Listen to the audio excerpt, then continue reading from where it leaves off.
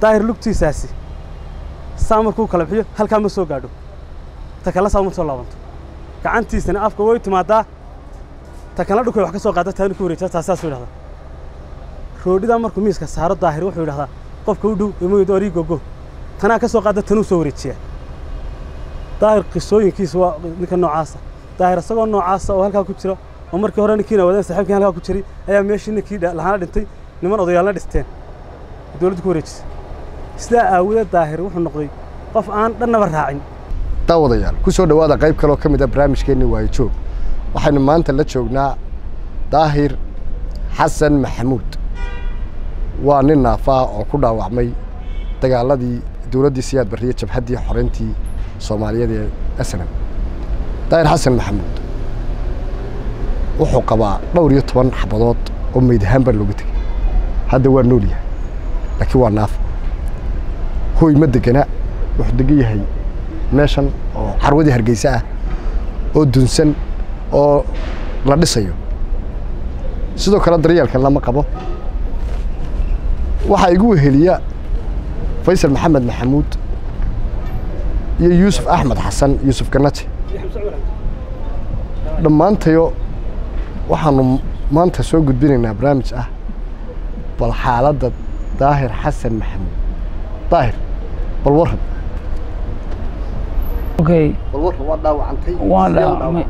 bal socday obrashinadu dee ambusku way iska jiraa. Deedna qayb ka mida dagaaladaas ka mida ayaan ku dhaacmay dagaal habeenimo oo arbus ah. Anigoo ku socda arbuskaas dowladda xukuumadda. Okay.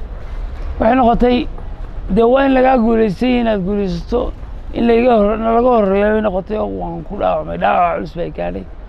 Qaar way ku dhinteenba ibranin la odhan jiray waa ku dhintay. Okay. Hay'adda rikosta ayaa ilaahay ii soo bixiyo deedna janankii cabdicasiisna horta malaaqodaa maraxaan naga gubaysa waa gobta taaroodka haystay wixii aan ku jiri ka saar. Okay waxay noqotay in hay'adda hay'adda ay qaato geyso berbera samafalka hay'addaas ayaa muddo u waxaan ku dhaacmay rasaas badan baa igu dhacday. Dee dac buu daba marayaa dawac. Kugu qayle ma maqasha. Habeenkii markaad gudayso dee waxa weeye qorshaad sidataa qorshihii dii lagaa hor yimaadana waa waa dhib waa lagaa elorreeyey deedna waxay noqotay habeenkii bartii haddana dagaalka bartii aanu isku difaac ka bilno rubuc saaca ilaa badh markaan ku dagaalamayn ayaan dhaawacmay. Markaan dhaawacmay dhaawac deg deg oo daaragtiya oo rasaasuna nagu dhowdahay ayaa dhacday. Deedna go'aan waxaan qaatay markiiba meeshan zirodaad soo gashay ciidan yaallo aanan tirada ku darsan ka bax dhimatay aduge ciidankood meesha aanay ku jabin. Si darteed waan intii aan sii noolaa aanay habaddan calooshay u dhicin ayaan ku idhi ka bax qorigana qaada oo sidaa ay ku baxeen ciidankii meesha way ka baxeen way sii difaareen sii dibereen nin baa ku dhintay ibrariyaado ninkana waa ku dhaacmay marka aniguna dhaawacaa culus bay gaadhay cid kastaba ha noqoto ama isaaqi meesha jooga ha noqoto ama ciid ha noqoto ciddii ilaahay ku diraba. Qaar baa dee intaaba i dadaalayay hay'addiina way caawisay. Aad bay la dhakhtar dawooyin wacan iyo sidii ayaa berberaa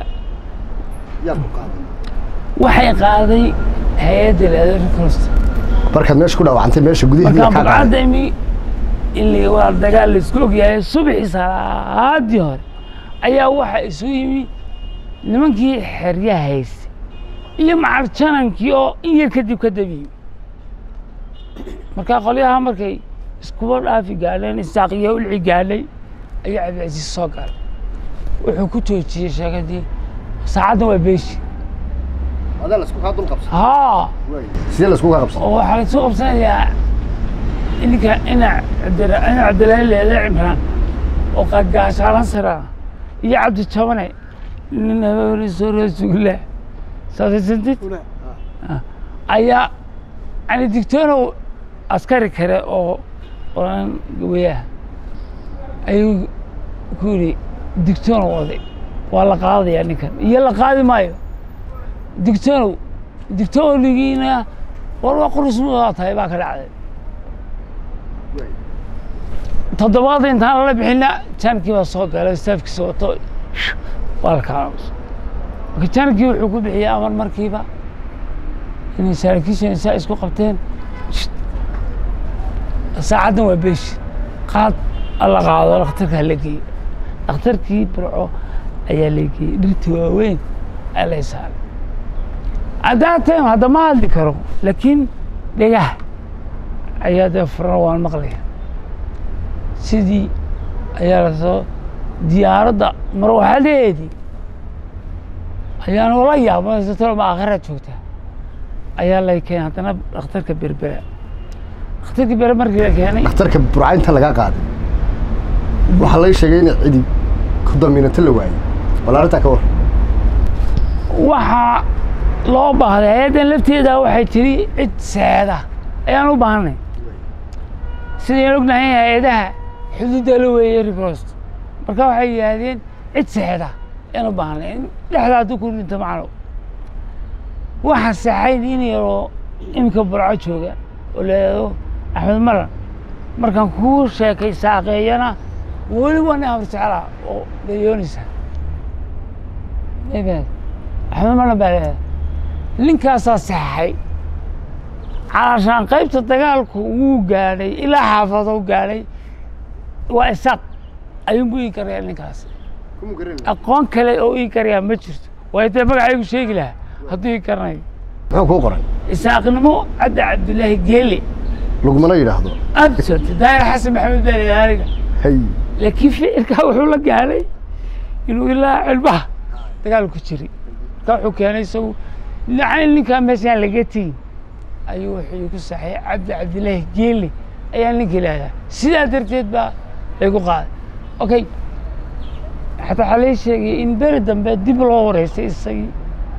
Oo layidhi ka sheekee waa adigii garanayey wallaahi maan garanayn oo dib loo ilinkiiba loo xidhay oo haddana saddex cisho cabdijaamani soo daayay xaleey cabdi cabdilaahi haddii soo daayay adigu dhibkaas waa iska badnay. Heedirkoos qaar kale haddana i oo qalliinka axmed ninkii heesi jiray cismaan maxamed cabdikariim cismaan gacanlo walaalkii axmed maxamed cabdikariim ayaa haddana kaana ii haa isagoo daliishanaya shaqalaha rikoos ayuu saadka haysa aqoon kale garmaaysa aqoon buu garanaya mabad sidaasaa jaatirka laygu saaray dhowr jeer qalliinka lagu sameeyey waxay noqotay in hay'adda inanta haysatay loo sheego leego qola mucaaridkan ninkan si gaara u ilaali. Arrinka hadda isaaqo dagaalkaas kii berberna way ku wada jireen. Mid qof wuxuu taraba waxyaa tare. Malaha dadku dumarkaa ugu dar. Iska daa ragga markasta sida qaar isha igu koriyo oo aan kaba caloodan sababtolo minku basaas? Waxay soo xolba kaa doontaa tolo. Ayaa ataa jirta markii qalliinkii labaad laygu samey waxay dhacday inaan kooma galo. Dheer. Wakti dheer ay noqotay. Waxaan saaxiga markaa ku soo noqday. Maalmihii lalahaa beligudaa la qabsay marka markaasaa sida maaragtay shidaalka gaarigu markuu goosto in marna uu hashgadeeyo marna ilaa urarkoo aad ku yar dagaasho. Saasoo kale noqotay inaan marna dheelmo marna aan soo noqdo wax maqlo adigu horreeyay waxay noqotay anigoo markaa ladnaan ku yar tirsanaya ayaa wax la galay in smt guuraysa. Ayaa dagaalkii belbele lagu qabsay soo galay. Farxad waa naxada maqashay. Maalin aligii afaraa saxaad dambaan kooma haddana dib u gacaashaan kan waa hebelka hebelka waan u qaadan waayey. Indhahaygii baan arki waayey waxay noqotay inaan qofka taabto. Ma hebel baa. Ma kanaa ka mid a u qaadan waa ayaa waxay indhahaygiiba xataa rumaysan kari waay waxay gaadhay inaan taabto. Ibraahim dhaweyne ninka yidhahda sarkaalka yani amaaraduu leeyahay. Markaas hataa ilaa aan ka taabto ay gaadhay dee booqashaduna muddo dheer bay dee igu soconaysay kabacdi waan okay ba noqday. Hadal markii dambe waan okay baa noqday. Dee caadi waan socday oo macallinantii baanu si waxaan u sheekaysanay meesha ay satiyo waxay noqotay dee in isaaqoo dhan boqoshadoodana ay igu socoto. Ma fahan okay. Xiyaalku hooyadayna waxay iigu timi kanaa soo qaaday. Kanaa saaraa kanaa saaraa oo ilka casaa waday gaarigana. Se hooyaday ii sheegtay. Ma fahan burcaa laygu keenay hooyaday igu timi bes axmed kaasaa axmed kiisi kaasaa wuxuu sameeyey in uu hooyaday maqsin gaarna u sameeyo oo yidhaahdo inankaaga ilaasha haddaba waa ku kaa inaan irbadaha sunta iyo mar baa la isku dayey laba goor baa la isku dayey sidaa darteed buu axmed kijin ugu keenay inuu yidhaahdo halkaa ku ilaali. Xedirkoosa mamnuuc bay ka ahayd. Qof qof sirta hoosteeda qof dul seexda. Maalintaas waa lagu bilaabay dagaalku saasuu u dhacay. Okay saacad aan kula hadlayo way iga dhan tahay. Aan adar mar labaad mooyaane hadda ka daba waan daalay resistan inta kaba haa waan daalay. Ma fahan marka dee mar kale oo aynu is aragno mooyaane hadda tan resistankeyga intaas. Daahir xasan wuu hadli kari waayey oo awooddiisa oo yar awgeed. Intii ugu muhiimsanada dhaawiciisun buu inoo sheegay. Iyo qaabkii gudaha markii loogu soo galay dee in hooyadiina loo keenay. Laakiin xogagaalka ugu weyn labada nina hararaa ka fadhiya waa markhaatiya faysal maxamed maxamuud faysal dheere. Wuxuu joogay goobtii laga soo ambabixinayay. Sidoo kale wuxuu aada iskugu sheegay raggii markaa joogtay saraakiisha ahaayee qabanqaabada howlgalkaa lahaa inaan ninkaasi dagaalkaa qayb ka noqonin oon gaadhi keliya tala dirin. Faysal bal war oo bal arrintaa bal isku kaaya soo xidho. Bismi raxmaan raxiim aad baan idiin salaamaya naasirow adiga iyo shaqaalaha codka bariga afrika iyo mujaahidiinta kale halkan ma fadhida iyo dhammaan hadhaagii ee sanam dhammaan somalilan oo dhan aad iyo aad baan idiin salaamayaa. Salaan kadib kolle waktigu dee wakti dheer buu ahaa. Sagaashankii ahayd markaa ninetygii ahayd. Daahir marka hore wuxuu ahaa raggii ugu firfircoonaa raggii nineteen eight eight halganka ku biiray nin mutacalina buu ahaa. Nin aada u firfircoon oo fikirkiisu maskaxdiisu aada u shaqayso oo hindiso badan oo ayuu ahaa nin tilmaaman oo akademiya buu ahaa. Wuxuu soo noqday abaanduulihii ururka koowaad buu soo noqday. In badan ahaa markii dambe wuxuu noqday madaxii saadkay guutadii labaad madaxii taakulaynta ee taliska snm ka soo uga soo qaadi jiray guutada waktigaa maalin maalmaha ka mida galab. Anoo ana dhaawac ka soo bogsaday ayaa meesha gorayood la yidhaah buu saldhigu ahaa oo markaa aanu naalay guutada labaad sideedaadna waxay taallay. Meesha la yidhaaho cali saahid oberatinkaasaa la diyaariyey. Markii la diyaariyey qoladii saraakiisha ahayd hal gaadhi bay diyaariyeen aad baan ugu wada hadalnay war gaadhigaa qura ee aad diraysaan waa mahalako maxaan ku idhaahdaa waxbaa ku dhici kara. May dhicin. Daahir xasan maxamuud uu xanuunsanayey xundhur baa haysay markaa. Aadna saaxiib waanu ahayn daahir waxaan ku dadaalay inaanu raacin. Yaa markii iigu dambeysay koodh nin naasir maxamed nuur la yidhaha gashanaa ayuu yidhi koodhkaas iyo waan raacaya daahir walaal iska joog baan ku yidhi. Isagoo aada u xanaaqsan oo iga xanaaqsan aniga macnaha joogista aan leeyahay joog ayuu ayuu tegey. Waayo nabadgelyo sidii bay ku baxeen. Obereshinku wuxuu ahaa magaalada burco gudaheeda. Gaadhigii dabadday dhigteen sidii bay ku galeen. Calaa kulli xaal sariibadda burco meel aanay ka filayn cadowgii ayay ugu galeen. Dabeedna waa lagaga horreeyey rasaasta nin wuu dhaawacmay isagiyo nin kale way dhaawacmeen. Nin kaleo ibre la odhan jirayna wuu dhintay. Qorigii waa uu dhiibey markaa sii miyir qabay. Raggii kale isbadbaadiyey buu yidhi. Sidii bay dabeedna lagaga yimid daahir. Nimankii gaadhigii bay u yimaadeen way soo guuro galeen subaxii bay noo yimaadeen. Waxaasaa dhacayoo dee ninkii daahir iyo ibraa dhintay ninkana waa dhaawac su'aashii u horreysay aan weydiinay kolley raggii waxaan ka xasuustaa ninka la yidhaha xiiskaab. Iminkana gaashaanlaahee jooga burco. Xiis baan u yeedhay waxaan weydiiyey daahir inay naftu ka baxday oo uu dhintay ma hubtaan?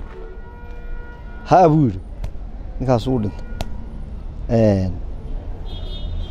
Waxaa jiray niman qaadwalayaala oo isku ka isku xidha warka nooga keena burco.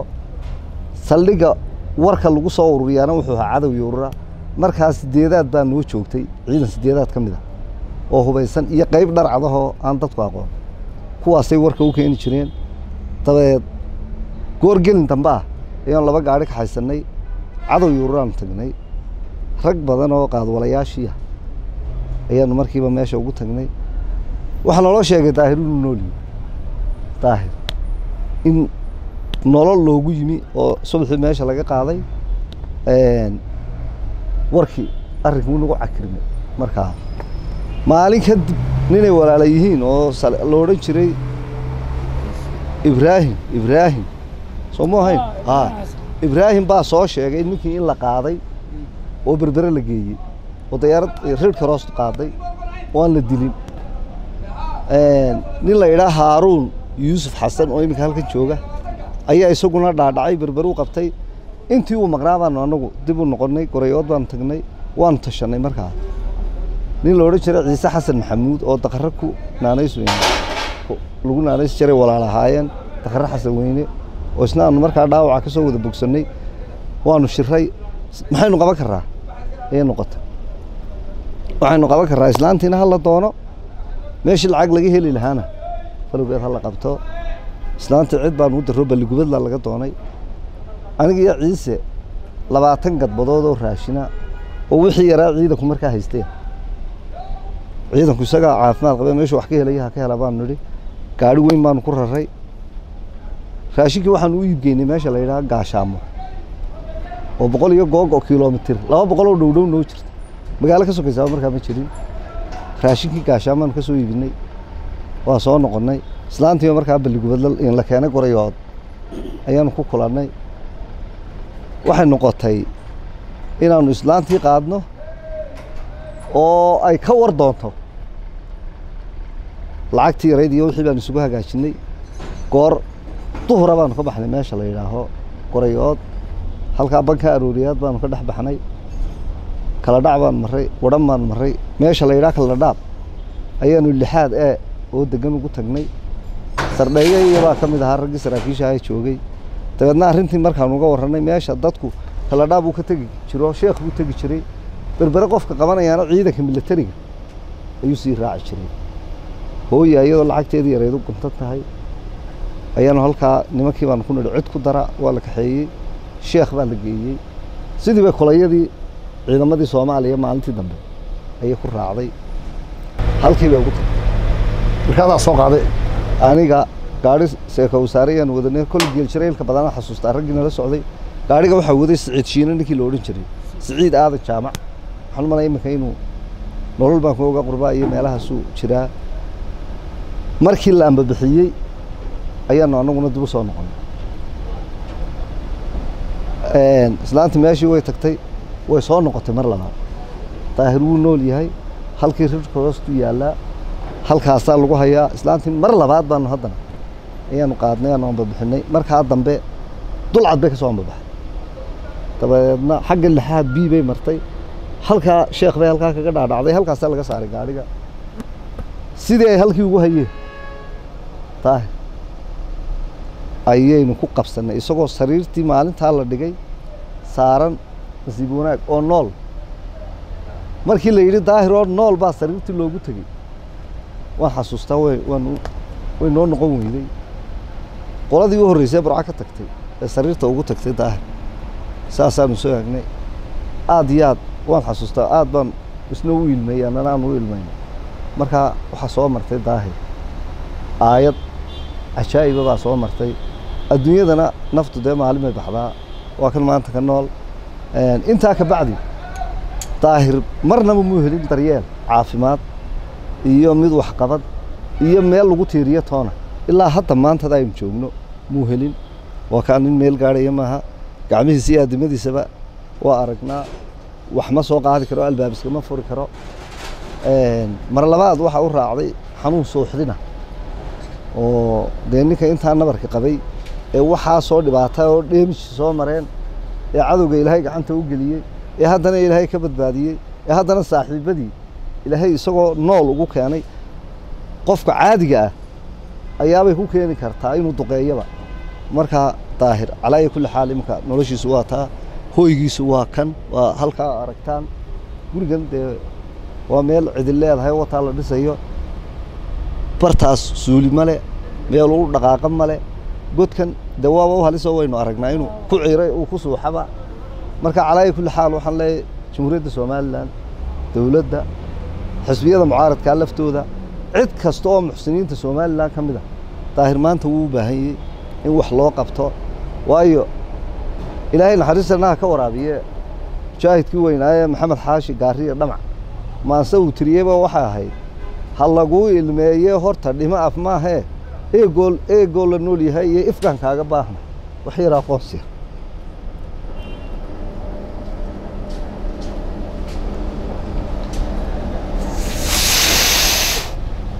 daahirmaha muu ahayn.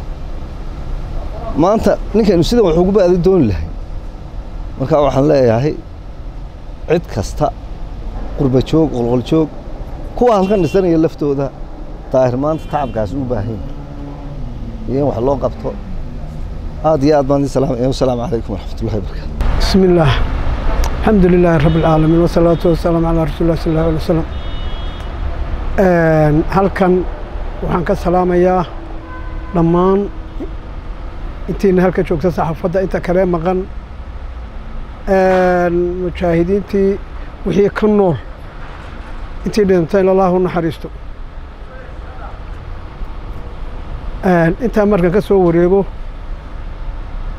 runtii faysal iyo daahir isku urur bay ahaay guutadii tawakal laba urur bay marmarna urur saddexaad baa jiri jiray.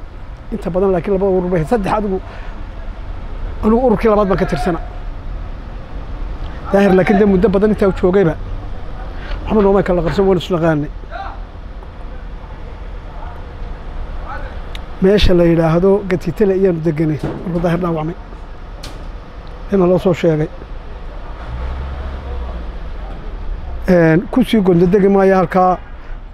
Oo faysal baan waxba ka hambayn. Anigu halkan waxaan ka tilmaamayaa daahir. Waxbarashadiisii hore iyo taariikhda iyo historygan ka hayo iyo tan maanta halkan siduu ku sugan yahay ayaan ka warbixinaya daahir horta sidaa uu faysalba sheegay nin akademiyuha ninkii saadka u soo qaadi jiray guuta labaad ayuu ahaa nin la xanto oo xumaanto lagu xanto ama musuq maasuq lagu xantana muu ahayn isagoo halkaa joogana nin jecel buu ahaa obereeshin kasta inuu ka qayb galo ka qayb qaato. Kow ka noqdo isagoo ma garanaysa taa haya. Had iyo jeeraale nimankan saatayayaashii kuwan soo qaadiyo faramaa ma yimaadaan inta badan. Isagu markaa howlgalku markaa uu soo qaadaya saadka ama inta kale nin faranta jooga oo howlgallada la qaata ciidankiisa ayuu ahaa isagoo caynkii oo aad loo jecelin aad loo jecel yahay. Ayuu dhaawacmay. Aad baa loo tebay. Ururkii oo ka tirsan koowaad iska daayoo dee kaayaga labada tebay. Qaabka wuxuu soo qaadi jiray kala daadasha xitaa timi. Oo ma garanaysaa dee nidaamkii wuxuu soo maamuli jiray? Isbeddel weyn baa ku yimi. Marka ay sidaa tahay kolley faysal baa dee wixii kaloo soo sheegay anigu wuxuu baan ka warbixinayaa ninkaa taarikhda wuxuu maanta u baahan yahay. Taariikhdiisa hore waa tan laga soo sheekeeyey shan madaxweyne soo maray waddanka. Saddex baa isna maha. Kii hore iska sal qasaawarsalan buu ahaa wuxuu cabdiraxmaan axmed cali qasaawarsalan buu ahaa.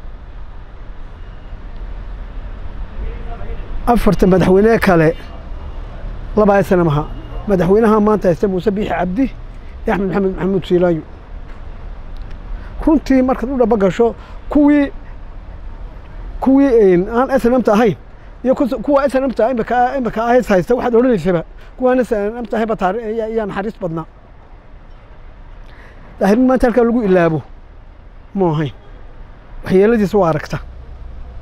Waxaan aad iyo aad iyo aad u salaamaya ninka la yidhaahdo axmed axmed axmed ninkii muxuu ahaye axmed abyan aad iyo aad iyo aad baan u salaamaya. Waxaan ka codsanayaa xukuumadda. Waxaan ka codsanaya qurba joogta. Aan kala soocee jamhuuriyadda somalilan ee mujaahidiintu imika xukunto. Ragga mujaahidiinta xukumaa ama maxamed kaahin ahaad ama muuse biixi ahaado maxamed kaahinuna waad garanaysa.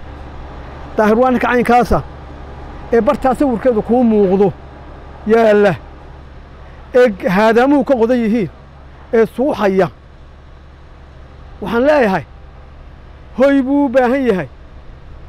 Wuxuu u baahan yahay maxaan idhahdaayey wuxuu u baahan yahay akal buu u baahan yahay aradbeel buu u baahan yahay. Wuxuu u baahan yahay meeshii uu iskaga batrin lahaa kaadida iyo nidaamka iyo u kaadi kari- tegi kari lahaa ee ku noolaan kari lahaa. Cid ilaalisuu u baahan yahay.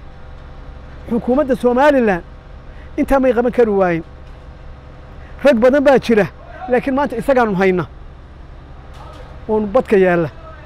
Waxaan ka codsanaya muuse biixi madaxweynaha jamhuuriyadda somalilan waxaan ka codsanayaa rais ma- waxaan ka warsanaya wasiirka arrimaha gudaha maxamed kaahin axmed. Sida ugu dhaqsiinyaha badan in ninkaa loogu gurmado oo loogu gurmado markii qaalib u ahaa halganku caadi ah u caafimaadka qaba qaalib u ahaa maantana muddo dheer dheer dheer baa laga seexday. Xilligan uu qaadanay calanka taagnay maanta inta u dhaxaysa waa dho- dhowr iyo soddon sano. Dhowr iyo soddonkaa sano wixii laga ilaabay. Waxaan idinka codsanaya madaxdii somalilaney inay maxaan idhahday u soo jeesataan oo ninkaa yacni wax la taaban karo u qabataan annagu waxba uma qaban karno annaga laftaydu waanu dayacnay maanu ka hadlin. Goor xeedhiyo fadhaalka dhece baanu baraarugnay jamhuuriyadda somalilan iyo madaxeedaba intaasanu ka codsanayna dhammaan. Hadday wasiirra tahay hadday madaxweyne tahay haddii ay golo baarlamaan tahay hadday mucaarad tahay hadday maxaafid tahay intaba intaba waan ka codsanay intiinuba u guntada baanu leenahay. Waxaan idinka codsanaya walaalayaal iyo adeerayaal inuu ninkaa wada gurmanino faydka dhabarka saaro. Annaguna dee ducaanu idinka adagna annagu wax hayno. Jabhaddii un baanu nahay. Midhar yar baa ka nool. Qaar kalea jiro qaar indhala yihiin qaar xiskoodiiba waalan waalan yihiin. Laakiin maanta ninka koowaad aynu wax u qaban karno waa ninka aanu badka soo dhignay. Ninkan daahiree nagu soo booqateen halkan nagu timaadeen. Waxaanu saaxiib ahayn muddo dheer. Iminka muddo dhowr iyo toban sannadooda wuxuu nala joogay ama suuqa ama intan carwada ayba dhakhtarkii awaadin awaadaan si dhintay ilaha naxariis saaxiibka ay ahaayeen. Daahir anigu uma aaminsani inuu daahir qof qura yahay. Daahir waxaan aaminsanay dhowr qof oo isku jira inuu yahay. Waayo waxaan u arkayaa aayad aayadaha ka mid ah. Daahir lugtiisaasi saa markuu kala bixiyo halkaa ma soo gaadho. Ta kale saa ma soo laabanto. Gacantiisana afka way timaadaa. Ta kale dhulkay wax ka soo qaada taani ku wareejaa taasaasuu yidhahdaa. Roodhidaa markuu miiska saaro daahir wuxuu yidhahdaa qofka u dhow imaydo orii gogo tanaa ka soo qaada tanuu soo wareejiyaa. Daahir qisooyinkiisa waa ninka noocaasa. Daahir isagoo noocaasa oo halkaa ku jira oo markii hore ninkiina wadeen saaxiibkii halkaa ku jiray ayaa meeshii ninkii lahaana dhintay niman odayaalna dhisteen. Dowladdu ku wareejisay sidaa aawadeed daahir wuxuu noqday qof aan dhannaba raacin. Wuxuu noqday nin halkaa ku soo hadhay daahir waxyaabahan ku wada hadlay waxaa ka mid ahaa aan daahir isweydiinay daahir wuxuu yidhi saacaddaydu maalintay dhammaato ayuunbay sidii ilahay ka dhig bay daahir wuxuu u baahan yahay daryeel caafimaad iyo mid hoynimo iyo mid nafnimo. Daahir isagoo noocaas ay maalin rabadaanta waxyaabaha qiilooyinka igu reebay ka mid ah ayaa wuxuu igu yidhi war xamsoo hee halkaa mar orod kitaab iibi rabadaan baa soo dhowey aan soddonka qur'aanka daahir ismaan lahayn soddonka qur'aanka kor ku haya. Daahir wuxuu igu noqdin sidaan u wada taagnayn nin xaafidulqur'aana ninka wuxuu ahaa halkan qur'aanka igu bilaabay. Daahir wuxuunbuu noqday nin xaafidulqur'aana daahir waan is waraysanay deedna ilaa dheyniri waan is waraysanay siduu ahaa waan iska waraysanay si kasta daahir wuxuu noqday nin ummadda dadkii ugu firfircoonaa ka mid ahaa. Wuxuu noqday nin halkaa ku soo hadhay ummadda muslimiinta dhammaan ehelka dhammaantood ummadda muslimiinta meel kasta ay ku nool yihiinba. Dowladda somalilan dhammaanteed. Waxaan ka codsanaa ummadda muslimiinta ka codsanaa ninkaa daahir haddii waxu qaban karna maanta aynu qaban. Uma qaban kari umaynaan qaban kari waan waynu hakranaynaa saacaddiis baani gaadhin baan dilay anugu raxmaankaan waxaan ka warsunaynaa inugu soo asturo. Waayo soomaali waxaan tii ifkaa laysu turaayo ilka laysma gargaaro. Daahir wiil ma hayo cid wax ka qaada ma hayo qisooyinkan ku arkay daahir waa ninka marku soo afurto intuu ku yeedho kuwa nin kaale kabtaa waa xadhiggaa iga xidh xadhiggaa xidh waa waxyaabaha ka mid ah. Intuu wallahi yaama ii yeedho igu kaale xamso bal dhegtayda wax dul marmaraya eeg dhegtayda wax dul marmaraya eeg waxa